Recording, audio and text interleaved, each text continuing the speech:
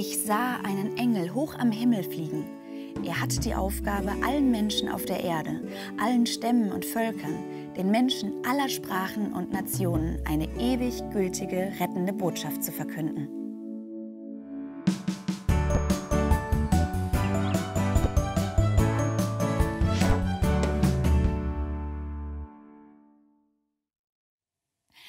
Hip, hip, hurra! Nulla ist wieder da.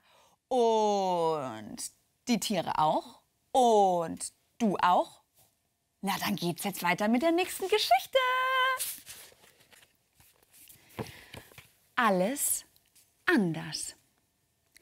Kiki und Timo laufen neugierig durch die schmalen Straßen des Ferienorts. Hier sieht alles anders aus als zu Hause. Obwohl sie nur drei Stunden mit dem Auto gefahren sind, haben sie das Gefühl, ewig weit weg zu sein. Schau mal, die kleinen Fenster überall, sagt Timo. Eine Frau, die mit ihrem Fahrrad vorbeifährt, lacht die Kinder an und grüßt freundlich. Äh, das ist ja lustig. Die Menschen grüßen auf der Straße, obwohl sie einen gar nicht kennen. Und sie radeln ohne Helm.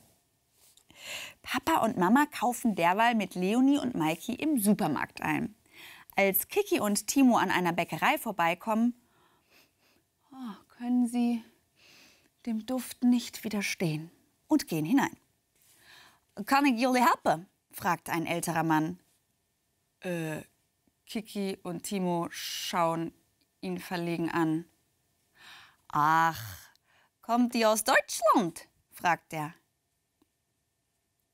Die Kinder nicken. Der Mann schenkt beiden eine kleine Teigschnecke. Danke. Mm, die schmeckt nach Zimt. Als Kiki und Timo wieder am Supermarkt ankommen, stehen die anderen schon an der Kasse. Schokostreusel, ganz viele verschiedene, erzählt Maiki aufgeregt. Leonie findet das Glas Spekulatius als Brotaufstrich am besten.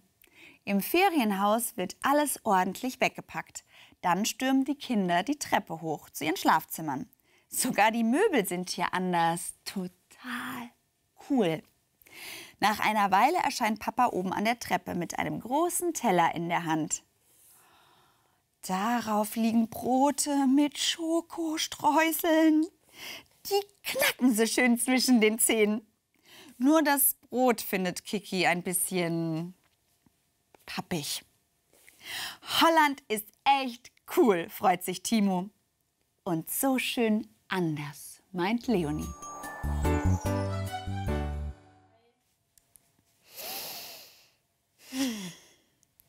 Es gibt so viele Länder auf dieser Erde und jedes Land hat seine ganz eigenen Traditionen, seine eigene Sprache oder eben auch sein eigenes Klima.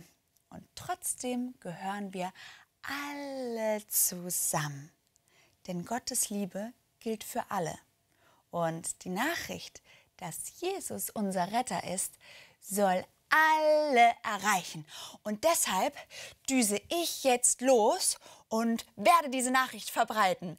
In jedem Land. Okay? Auf los geht's los.